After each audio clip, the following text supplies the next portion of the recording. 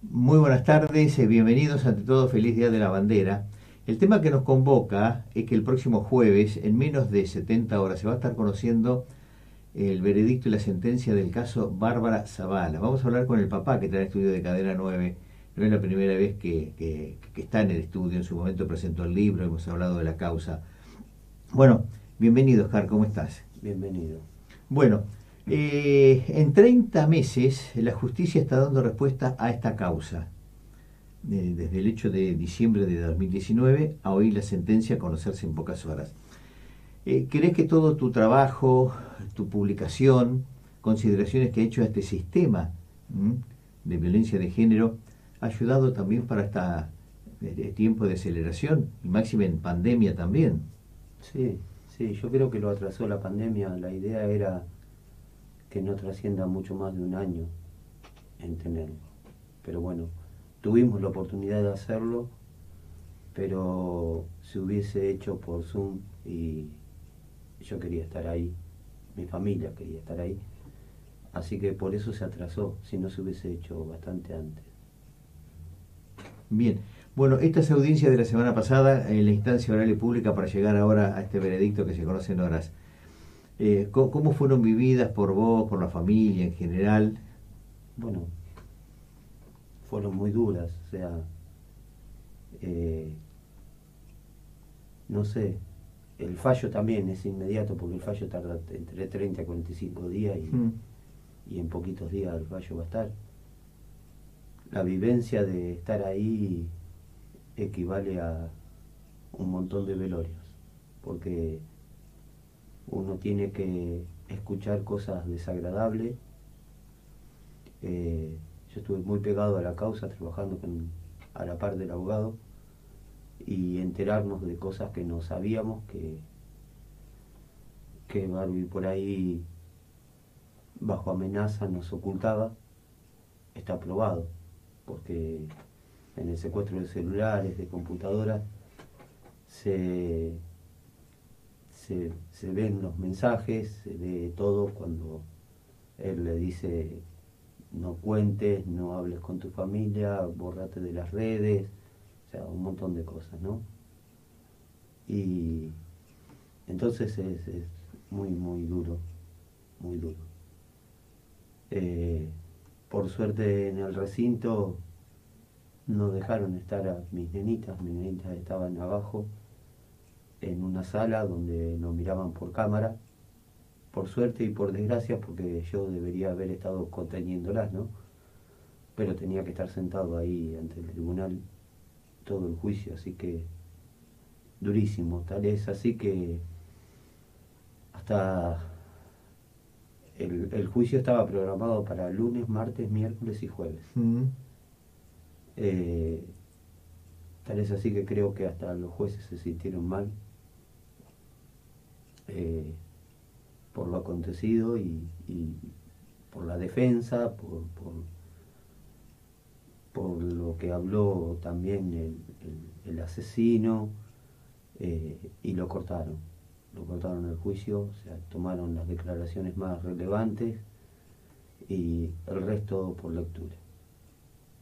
Así que, bueno, en tiempo récord también nos van a dar eh, bueno, es importante que la gente sepa que en estas, en estas causas muchas veces se ponen de acuerdo las partes, esto es decir, fiscalía y defensa, para que muchas declaraciones que ya estaban en el expediente directamente se ratifiquen y se le dé por lectura y no se asiste a las personas para otra vez contar exactamente lo mismo.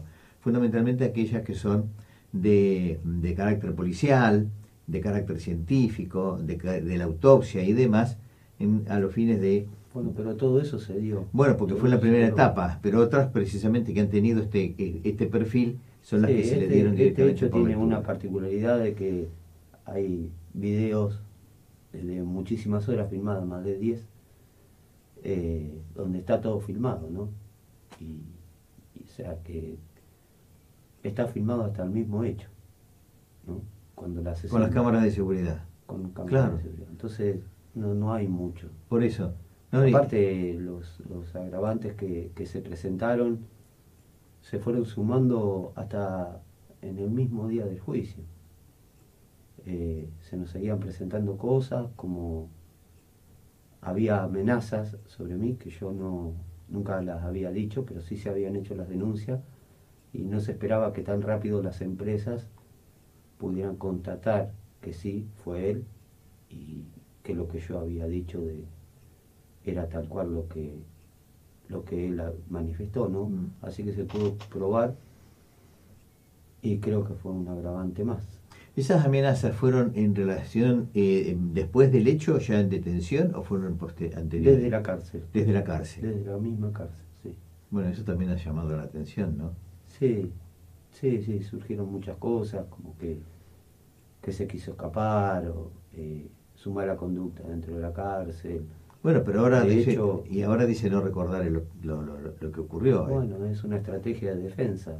Sí, pero Eh, que lo- puede ser una estrategia defensiva, pero también para que la gente lo, lo meritúe, los que están siguiendo esta, esta conversación.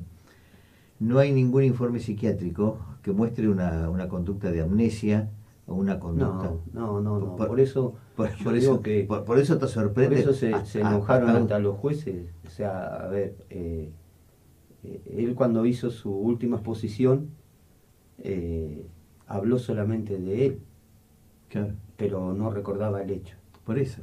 Y, y después, eh, al final de todo, sí, lo dice. Lo dice que, que, que, que- que fue hasta ahí y todo lo demás. O sea, acá va a haber muchas cosas por analizar. Esto no termina con el juicio. Acá seguramente van a haber dos juicios más, de la cual nosotros no vamos, no vamos a participar. ¿Y cuáles son esos juicios? ¿Qué- qué- De los partícipes necesarios. O sea, esto era evitable. Bien. Esto era evitable. ¿Y es personal policial? No lo voy a decir. Bien. Pero hay indicios que pueden ser, por lo menos esa... Hay indicios... Hay gente que actuó muy mal. Bien. Y en las en los relatos de, de, de los testimonios o sea eh, son incompatibles con, con lo Con que roles, está escrito con lo que está escrito y firmado por los mismos partícipes no así que eh, nada o sea fueron cosas demasiado claras como para llegar a esta instancia de decir no basta se terminó el juicio porque no no no, no hay más nada que hablar, que aportar. O sea, está todo indicado como para, para ver este, que, que las cosas fueron como fueron y, y, y nada más. Y bueno, uno toma juramento también cuando, cuando declara, así que Obviamente. eh, a partir de ahí se desprenderán otros juicios. Pero es muy triste lo que estás contando, Oscar, porque estos partícipes necesarios seguramente son los que dan una data muy específica, muy puntual, para un hecho que no tiene que haber ocurrido jamás. No, Y bueno, y sin embargo, esa, esa data, esa información, por partícipes necesarios, lo orientaron al lugar. Sí, sí, de hecho, o sea, a ver, la, la distancia, nada más. La distancia que había entre, Bueno, además. entre Barbie, entre una de las tantas cosas. O sea, en principio, eh, yo mucho no debería hablar de la causa todavía hasta que no se resuelva, porque todo lo que yo diga va a parecer eh, como una presión ante los jueces y, no quiero hacerlo. Fui muy contenido por los jueces, muy mimado, si se puede decir, por los jueces. Eh, supieron ponerse a la altura, confío mucho en ellos y entonces los respeto, los voy a respetar. Por lo menos hasta que salga el veredicto y, Bien. y que yo esté conforme, ¿no? Bien, y que, cuando decís que esté conforme, ¿qué es lo que se espera de la familia o de vos mismo?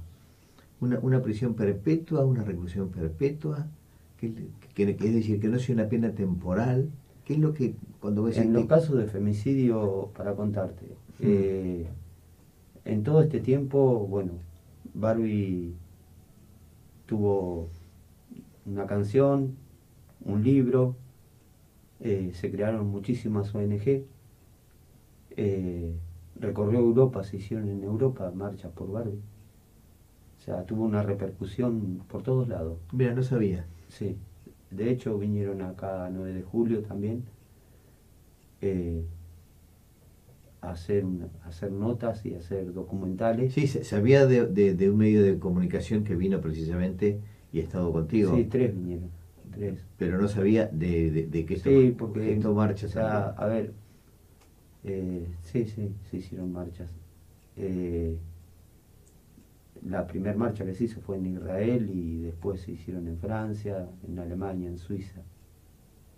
Eh, tomó mucha repercusión. Y otra cosa que llamó mucho la atención, hoy que está tan eh, ferviente el tema de, de la justicia con el poder político y todo lo demás, llamó la atención de que muchos familiares de víctimas de femicidio bajaban los juicios, bajaban la fecha de juicios porque pretendían o quieren de que sus juicios sean después del de Barbie. Porque eh, yo siempre me propuse de que, que la condena al femicidio de Barbie sea ejemplar. ¿no? Y sí, yo quiero que no salga nunca más. Bien. No salga nunca más. O sea, acá hay un caso, Robledo Puch. Mm. Bueno, pretende lo mismo. Bien. Pretende lo mismo y creo que está demostrado. Por eso fue muy importante. Yo siempre digo que Barbie intervino en todo esto, nos iluminó, porque llegaron a escasas horas eh, las, las pruebas, ¿no? Por escrito y, y ahí nomás se tomaron testimonio a, otros presos declarando de que sí, que era veraz, más, las escuchas telefónicas ¿no? de las amenazas, o sea que no está arrepentido. O sea, ni siquiera soy capaz de, tengo la posibilidad de morirme en paz porque sé que sale y, vuelve a matar. Y me mata a otra de mis hijas, como me dijo, era a mí, textual. Cuando salga un compañero mío un amigo mío, cuando salga yo, si estás vivo, te mato. Y si no estás vivo vos, voy a seguir matando a una de tus hijas o a tus nietos. Es gravísimo eso, ¿eh? Entonces, eh, no tengo la posibilidad de morirme sonriendo, porque yo en este momento, si me tengo que morir, eh, la verdad que, creyente o no, eh, me puedo morir tranquilo que me voy con mi hija, ¿no? Pero a partir de eso no, porque yo miraba a mis nietos, y no me lo dejaban incorporar en la causa. Y, bueno, de última surgió de que sí, se incorporó en la causa. En el primer día, el primero que declaro soy yo, y arrancamos con eso. Eh, así que bueno, es un agravante muy fuerte para él. Bueno, pero pocas veces es el papá, muchas veces es la mamá, pocas veces es el papá que, que se, se, pone de tan, con tanta firmeza al frente de una causa y además hace reflexiones sobre lo sucedido en un libro para que sea considerado desde lo político y desde lo jurídico. Porque normalmente las modificaciones que van a venir desde lo político, es decir, modificaciones que se originen en el Código de Procedimientos y en la ley, lo tiene que ser el Parlamento o el Congreso. Y paralelamente a ello, los jueces son los que van a analizar si eso es viable desde la normativa jurídica y desde el contexto de todo el plexo jurídico.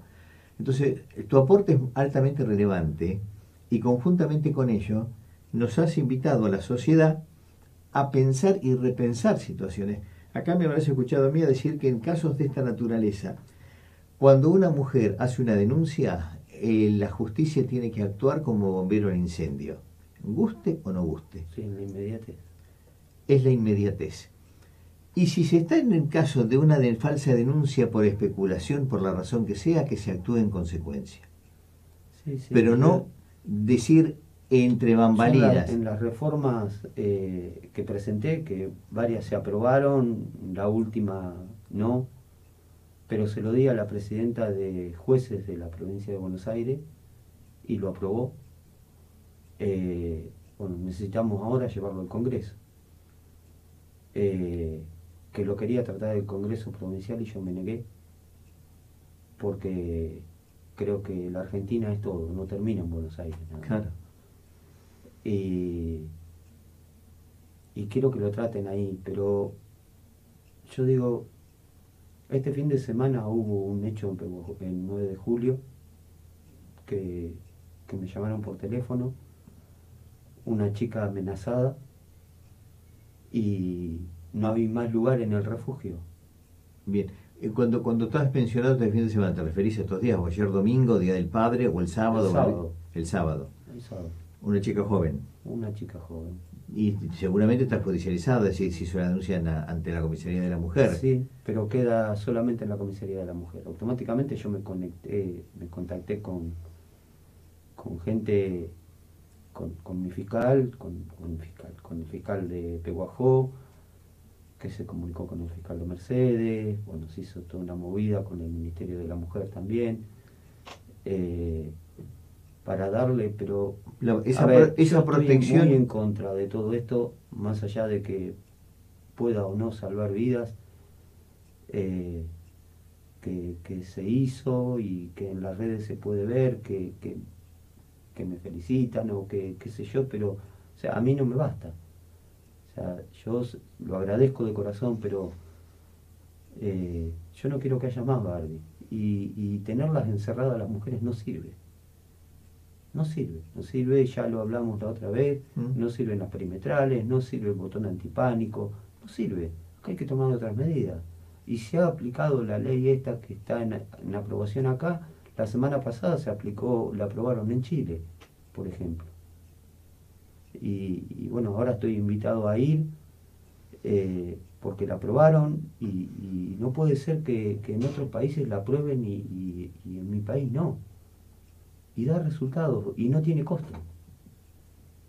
No tiene costo. Entonces, yo digo, eh, se hace la denuncia en la comisaría de la mujer y quedan un papel ahí. Claro. Eh, este muchacho, esta porquería que asesinó a mi hija, tenía denuncia de dos mujeres, pero muchas denuncias. Una familia se tuvo que, que ir, en, toda la familia entera, a irse a vivir a La Pampa porque no soportaban más hacer denuncias y, que, y que no quedaban a nada. Y así todo el tipo logra entrar en policía. Entonces, queda en un papel encajonado en la comisaría de la mujer, o los juzgados de paz están trabajando muy mal. Entonces, lo que yo digo es, después que asesinó a mi hija, fueron e hicieron, lo llevaron a una comisaría de, de conurbano y lo trajeron a Trenquelauquen a hacer una pericia psiquiátrica y psicológica un viaje para hacer una pericia psiquiátrica, otro viaje para hacer una pericia psicológica. Yo digo que entre tantas cosas ¿no? que yo propongo en el cambio de ley es, hay una denuncia, como vos dijiste recién, la inmediatez como un bombero. Hoy el jugado de pata cerrado. ¿A quién recurre? ¿A quién recurre? Dan de feriado. Entonces, Hoy no se puede, se le puede pegar libremente a una mujer, pueden hacer lo que quieran, está cerrado. Tiene que haber una guardia. Tiene que haber alguien que, tenga una respuesta. Y la respuesta es decir, bueno, se notifica al agresor y al día inmediato eh, hábil. hábil someterlo a una pericia psiquiátrica y psicológica. También he tenido contra de los hombres porque me dicen, sí, hay mujeres que dicen que les pegan o qué sé yo para quedarse con la casa. Bueno, perfecto. Bueno, está bien, por eso te decía yo que, que, la justicia actúe en la inmediatez de la denuncia y que si fue falso, que acceda y le dé la sanción que, que contempla la, ley por falsa denuncia. Le hacen una, una pericia psiquiátrica y psicológica a la mujer. O sea, a ver, en un caso de despido, por ejemplo, lo citan a Bragado o lo citan a Mercedes, se la tiene que arreglar por sus propios medios, pero tiene que estar Mm. y si no va por la fuerza pública. Mm. Y en un caso donde hay riesgo de vida, no. O sea, acá vamos más a lo material. Si yo pudiera comprar la vida de Barbie, ¿cuánto daría? Claro. ¿Cuánto daría? Entonces son, es cambiar eh, piezas de lugar, nada más. Nada más que eso. Nada más que eso. O sea, la ley es bastante extensa, ¿no? Pero pero bueno, esa es una de las partes de que se pueden corregir y, se pueden salvar muchísimas vidas. Pero tiene que, se tiene que actuar en lo inmediato. No puede ser que un juzgado de paz no haya nadie eh, Está cerrado. Recién termino de pasar con un cartelito cerrado hasta el martes. Perfecto. Oscar, eh, la otra pregunta es, en el marco de esta propuesta legislativa que vos estás impulsando, que ahora la, reconoce y la acepta Chile, y, seguramente la van a adoptar ya como, la aprobaron. como norma. Sí, pero me, tengo entendido que falta ahora la ratificación del presidente. La aprobó el Congreso de Chile, pero todavía, todavía no es ley. Faltan horas nada más.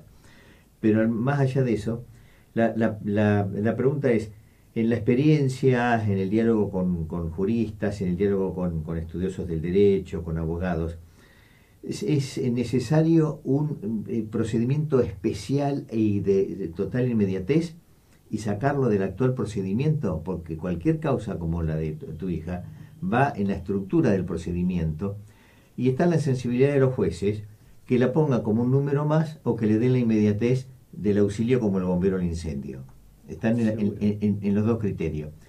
Pero creando una normativa especial para los feminicidios, bueno, entonces va a haber todo un equipo de abocarse, para abocarse de manera inmediata a la, problemática. No precisa todo un equipo, un ejército de gente. No se necesita. Ni, ni acá. Eh, Con las herramientas que hay es. O sea, eh, yo lo he sacado también como para argumentar, porque esto cuando uno presenta un proyecto de ley, tiene que defenderlo como una tesis, ¿no? Obviamente. Entonces, yo lo he sacado en costos, se reducen costos y se da más seguridad. Bien. Así que no es cuestión de costo, es cuestión de querer. Pero bueno, vivimos discutiendo otras cosas, nuestros políticos hoy de cualquier bandera política discuten otras, otras cuestiones, sus comodidades. Pero bueno, es así, es lo que tenemos. Bien. El jueves, a partir de la una y media de la tarde, se, ha convocado para leerse la sentencia, el veredicto y la sentencia. ¿Mm? Así es. Eh, así que en, un par de horas es de presumir que ya va a estar la sentencia conocida. Sí, sí. Eh, no va a ser fácil lograr lo que yo pido, porque no hay precedente. O sea, por un femicidio lo máximo que, se estipula son 35 años. Puede ser de cumplimiento efectivo los 35 años o con dos terceras partes salir. Hmm. De acuerdo a la, como la conducta y comportamiento, pero lo que estamos viendo ahora, la Perfecto, sí, pero bueno, yo presenté muchísimos escritos, de estos dos años y medio me dediqué a trabajar a la par del abogado y, investigar y, ver y conocer eh, cómo es la temática y, bueno, con el libro a mí también me ayudó mucho porque en la editorial antes de hacerlo me pidieron que certifique con un profesional, me hicieron hablar con el profesional más alto, creo yo, que hay en el país en lo que es psicología y psiquiatría y aprobó todo lo que yo decía. O sea, no es una enfermedad, pero no tiene cura. O sea que coleccional no hay. Y lo argumenté con hechos eh, de causas, me leí 50 millones de causas, donde vuelven a reincidir. Acá hace muy poquitos días, eh, un señor mayor de Mar del Plata eh, estaba preso porque había violado a la empleada doméstica.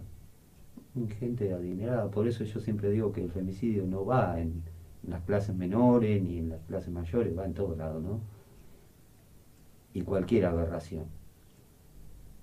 Por su edad le dieron prisión domiciliaria y violó a su bisnieta de tres meses. ¿Qué hay que hacer con ese hombre? Claro, bueno. Hombre, a mí no me representa como hombre. Pero como esos hay tantos, ¿cuántos hay? ¿Cuántos femicidas hay que vuelven y salen a matar? Entonces hay, que parar, hay que parar, o sea, las condenas tienen que ser mayores, pero las condenas tienen que empezar al principio también. O sea, si se prueba de que el tipo es peligroso, como decía antes de someterlo a una pericia psiquiátrica y psicológica, ya tiene que tener una, una pena en suspenso, con una tobillera y una pulsera. Y la mujer que no esté encerrada, como están encerradas acá en el Hotel Gemini o en cualquier ciudad, no tiene que estar encerrada, si no hicieron nada no hicieron nada, son víctimas. Y el tipo anda libre. Entonces, sí, algo, algo, algo no funciona. entonces está mal. Entonces si yo le doy una tobillera y una canille, una, una pulsera a la mujer, la mujer anda libre, él sabe que tiene que estar muy lejos, si por casualidad entra en un eh, supermercado y está, eh, va a dar una señal de alerta y le avisarán de que se tiene que ir, eh, pero rompiendo la regla, o sea, como dirasar el día 5, ¿cuántas denuncias se hicieron? Mm. ¿No? Y nadie tomó medidas. Bueno, y ahora me dicen que, que estaba, lo escuchaban los relatos, a 150 metros. A ver, si ya había el día 5, había pasado por mi casa, lo corrimos, llamamos a la policía. Eh, mi nena va con dos móviles de custodia. Decime, a los 100 metros de donde dijeron que estaba él, al, eh, o sea, donde estaba mi hija, él no puede llegar 250 metros caminando o corriendo antes que los móviles. Obviamente. ¿Se entiende? Sí, está clarísimo. Por eso, por eso las causas que se van a iniciar. Por eso no quiero hablar mucho. No, no, pero, no, pero está clarísimo. ¿Se entiende? Se, se entendió lo todo. Lo hicieron dibujar. O sea, lo pueden ver eh, en cualquier video porque se transmitió. Está en Facebook en todos lados. Y se lo hicieron dibujar. Se lo hicieron dibujar como prueba. Porque es una prueba fehaciente. Y es contradictoria a lo que declararon antes porque los móviles tienen ABL las escuchas de, la radio entre los móviles diciendo acá va la nena de Zavala y acaba de sal Entonces, ¿por qué no lo detuvieron? Claro. Bueno, pero hay un dato que, que, es importante que seguramente los jueces lo van a tener presente. la relación que había, el tema de las amenazas, la formación policial, o más allá de la formación, el grado policial que él tenía. Cuando vos decís, no creo que le den una, una perpetua, le van a dar una pena temporal. No, no, perdón, yo no dije no creo. Bueno, eh, en el fondo que, estás eh, esperanzado en eso. Ojalá sea y, Pero seguramente todo, o sea, a ver, todo la, condena que uno espera, yo la condena que espero es que, que el tribunal baje el martillo y diga si este tipo no sale nunca más y Zavala llévese a su hija, sana y salva. Y eso no se puede dar. Obviamente. Esa sería la condena perfecta. Lo que uno, lo que yo espero como papá. Ahora, eh, va a ser difícil, pero no imposible. Eh, yo tengo fe que se va a hacer historia porque va a ser el primer caso, si es que le dan perpetua, eh, de por vida. pero no va a ser fácil, no va a ser fácil y si no le dan perpetuo ahí, seguiré, hay otro estamento para tocar, para, para seguir con el juicio. Y lo haré. Sí, sí, sí, son las apelaciones pertinentes. Sí, lo voy a seguir. Bien. Oscar, queremos agradecerte el gesto, mm, sabemos lo que estás viviendo y el jueves vamos a estar muy atentos a esa resolución para, para transmitirla a los seguidores y lectores y oyentes de Cadena 9 Máxima. ¿eh? Bueno, déjame agradecerle a todo el pueblo del 9 de julio, como a toda la sociedad entre Trenquelauquen fue maravilloso, entrar y ver carteles de mi nena pasacalle por todos lados, eh, en Pehuajón y hablar. Eh, a todo el mundo agradecer y te pido mil disculpas porque es un momento de transición entre el juicio que iba a ser hasta el jueves, que al final no lo fue, ese corte abrupto y esperar hasta el miércoles, que normalmente hasta el jueves, creo que es el 23.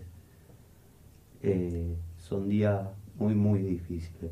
¿Mm? Así que te pido mil disculpas. Acá no tenés que disculparte.